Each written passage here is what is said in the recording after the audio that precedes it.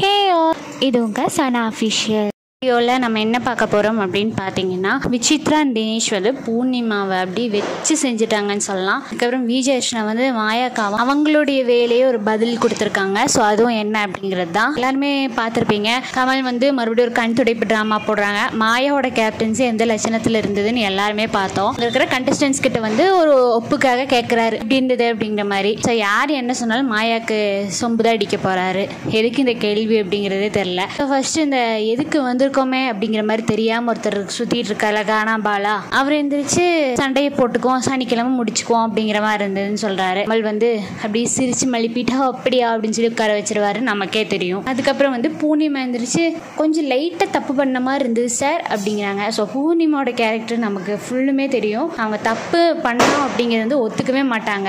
So மாயா வந்து அவங்களோட Agmark தோஸ்தில். So அவங்க பண்ண தப்பு வந்து லைட்டாக பண்ணாங்களாமா? மாயா இந்த வாரம் பண்ணது ஃபுல்லுமே அநியாயம் தான் ஆனால் அவங்க வந்து லைட்டாக பண்ணதாக சொல்கிறாங்க உடனே கமல்ஹாசன் வந்து அதுக்கு ஒரு பதில் கொடுக்கணும்ல இல்லாட்டினா அவர் தான் கேங் லீடர்னு தெரிஞ்சிடும்ல அதுக்காக வந்து ஓ அப்படியா? அப்படிங்கிற மாதிரி கேட்குறாங்க பூர்ணிமா சூடு சரணே எல்லாமே தூக்கு தொடச்சிக்குவேன் அப்படிங்கிற மாதிரி சிரிக்கிறாங்க. அதுக்கப்புறம் வந்து கூல் சுரேஷ்ட கேட்குறாரு அவர் பேசுறது சுத்தமாக புரியாது. ஆனால் இந்த பாயிண்ட்டை வந்து கொஞ்சம் அப்படி மாயாவை கழிவுற மாதிரி தான் சொல்கிறாரு அவங்க அவங்களுக்கு கொடுத்த இது வந்து சரியாக செய்யலைங்கிறாரு. உடனே கமல் வந்து இங்கே என்ன கேட்கணும்? சரியாக செய்யலையா அப்போ என்ன பண்ணாங்க அப்படிங்கிற மாதிரி கேட்கணும்ல. ரெட் கார்டு நீ கொடுத்தே தான் ஆகணும் அப்படிங்கிற மாதிரி சொல்லிட்டு நான் சொல்லப்பா அப்படின்னு சொன்னார்ல. அந்த மாதிரி மாயாவோட கேப்டன்சி நல்லா இருந்துச்சா? நல்லா இல்லைன்னு சொல்லாது அப்படிங்கிற மாதிரி மறைமுகமாக கூல் சுரேஷ்ட சொல்கிறாரு கமல். அதுக்கப்புறம் வந்து தான் சரவடி கொளுத்த ஆரம்பிக்கிறாங்க. யாருன்னு பார்த்தீங்கன்னா விஜய் அர்ஷ்னா அவங்க வந்து மாயாவோட கேப்டன்சி ஒரே பொட போட்டுடுறாங்க. எனக்கு இது பிடிக்கல. நாட் கூல் அப்படிங்கிறவர் மாயாவோட வழியிலேயே சொல்கிறாங்க விஜய் அர்ஷ்னாவை ஏன் நீ கொஞ்சம் நிறைய பேருக்கு பிடிக்குது அப்படின்னு பார்த்தீங்கன்னா அவங்க வந்து ஆட்டிடியூட் வந்து ரொம்ப நல்லா இருக்கு அவங்க ஆட்டிடியூட் பார்க்குறதுக்கு அவங்க செய்கிற அந்த ஆக்ஷன்ஸ் ஆகட்டும் அதெல்லாம் பார்க்கறதுக்கு கொஞ்சம் மாசாக இருக்குது இந்த மாயா பண்ணுற மாதிரி லூஸாக இல்லை. ஸோ மாயோட வழியிலேயே மாயாக்கான பதில் சொல்லிட்டாங்கன்னு கமலுடைய முகத்தை நம்ம இன்னைக்கு எபிசோடில் பார்க்கணும். சுருங்கி போயிடும் மாயா அவங்க குறை சொன்னோன்னே அதுக்கு ஏதாவது ஒரு விஜய் அர்ச்சனாவை டக்குன்னு கட் பண்ணி உட்கார வைக்க தான் பார்ப்பாரு ஸோ இது தெரிஞ்ச விஷயம் தான். அதுக்கப்புறம் வந்து தினேஷ் அண்ட் விசித்ரா வந்து பூர்ணிமாவை தோல் உரிக்கிறாங்க.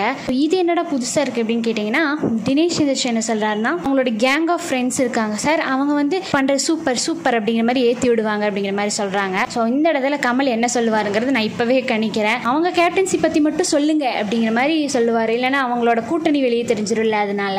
ஸோ தினேஷ் வந்து இங்கே முகத்துக்கு நேராக சொல்கிறாரு மாயா வந்து கேப்டனாக ஆடினாங்க. ஆனால் அது வந்து ஏற்றி விட்டது வந்து கூட இருந்த ஃப்ரெண்ட்ஸ் தான் அப்படிங்கிற மாதிரி கூட இருந்த ஃப்ரெண்ட்ஸோட முகத்துல எல்லாம் சாணி எடுத்து செப்புன்னு அடிச்ச மாதிரி ஒரு ரீசனை கொடுக்குறாரு. விசித்ரா வந்து தைரியமாக ரொம்ப போல்டாக பேசுகிறாங்க நேற்றுலேருந்து எனக்கு விசித்ராவோட பேச்சு ஆகட்டும் அவங்க அந்த ஒரு வாரமாக எடுத்து வச்சு ஸ்டாண்ட் ஆகட்டும் அதில் நின்னதாகட்டும் எனக்கு ரொம்ப பிடிச்சிருக்கு. விசித்ராவோட ஆட்டிடியூட் வந்து சூப்பராக இருக்குது ஸோ அவங்க என்ன சொல்கிறாங்க அப்படின்னு பார்த்தீங்கன்னா மாயாவோட கேப்டன்சியில் ஓவராக தான் ஆட்டம் போட்டாங்க.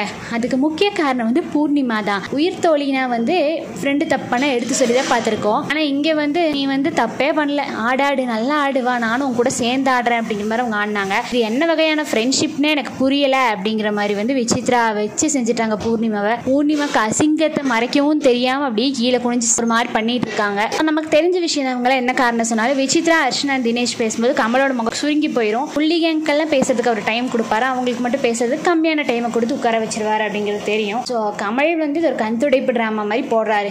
ஏன் அவருக்கு தெரியாதா? இந்த மாதிரி மாயோட கேப்டன்சி நல்லா இல்லைன்னு. பின் எதுக்கு எல்லாத்துக்கிட்டையும் நல்லா இருக்கா நல்லா இருக்கான்னு கேள்வி வேற அப்படிங்கிற மாதிரி தான் இருந்துச்சு. இப்படிதான் இந்த எபிசோட் போகும். அப்படின்னு நினைக்கிறேன். ஸோ நீங்கள் உங்கள் ஒப்பீனியன் கமெண்ட் செக்ஷனில் சொல்லுங்கள் பாய்